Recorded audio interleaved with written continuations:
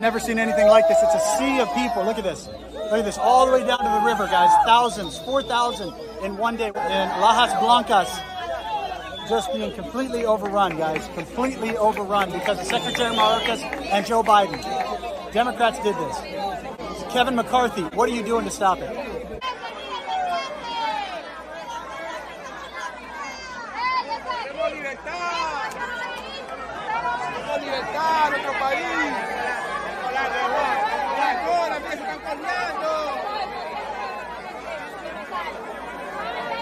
Make of this, man?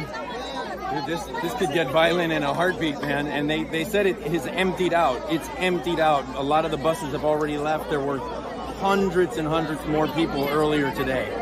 This is insane. I've never seen anything like this. It's just month uh, every month growing to a whole new level. Yeah. What do you? So you're Panamanian. What do you make? But American. What do you make of what right Joe now, Biden Panama, and Secretary Panama Mayorkas are doing? is taking the brunt of, of open border policy in the United States. This every one of these people is being being given a free meal three times a day by Panama at Panama's expense, and it's swelling every month to numbers that are so chaotic and out of control. And um, Panama's just stuck in the middle of it all. They're just stuck here in the middle of the whole thing.